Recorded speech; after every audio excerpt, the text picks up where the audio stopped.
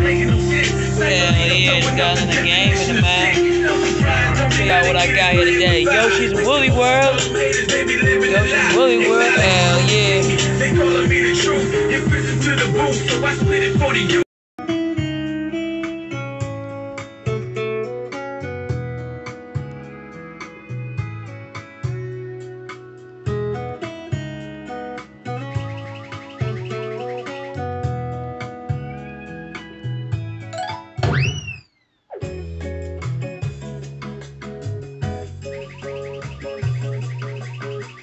yeah. If y'all ain't play this game, y'all need to play this game. It's like Kirby's Epic Yarn and uh, Kirby's uh, Forgotten and Forgotten Land mixed with some Yoshi's Story, Yoshi's Island, all that kind of stuff together. If you like games like Yoshi's Island, Yoshi's Story, Kirby and the Forgotten Land, Super Mario, Odyssey, um, Kirby's Epic Yarn, Little Big Planet, stuff like that. If you like stuff like that, you need to play this game. It's on. It's an exclusive for the Wii U, for the Wii U, and there's also another one.